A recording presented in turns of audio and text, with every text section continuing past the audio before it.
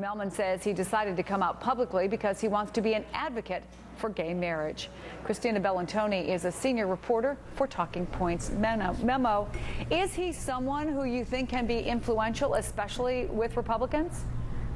Maybe he's a private citizen now, not involved in Republican politics anymore. And obviously, this, uh, what he says is coming to terms with his sexuality, would have made more of a difference when Republicans were in power. You, as you know, Ken Mehlman was the architect of President Bush's 2004 campaign. President Bush was reelected in part because of all of the anti gay marriage amendments that were on state ballots that drove up conservative turnout and helps the Republican Party. And he says now that, you know, he wishes he had spoken out about this or, or that he hadn't been able to have some influence. Well, it's, a, it's definitely a few years too late for that.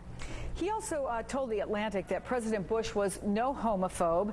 In fact, he says Bush wondered why gay voters didn't join forces uh, with Republicans to fight against Islamic terrorists, which he called the greatest anti gay force in the world right now.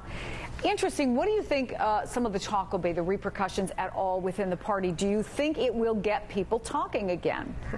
Sure. Uh, it will definitely get people talking again. And again, if he wants to advocate for gay marriage, there are other Republicans that do that. Obviously, the log cabin Republicans are one of the most prominent groups out there that are advocating for gay rights, um, you know, issues such as don't ask, don't tell. I mean, I'd like to ask Ken Mehlman about some of those policy questions because you have the Republican Party sort of uh, in agreement against a lot of pro-gay civil rights issues. So this is just an area where we're going to see how involved he's going to be.